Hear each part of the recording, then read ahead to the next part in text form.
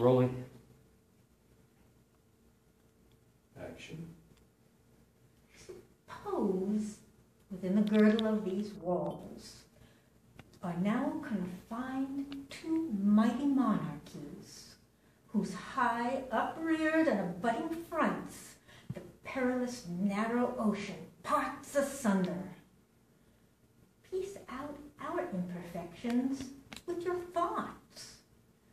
Into thousand parts divide one man and make imaginary poisons.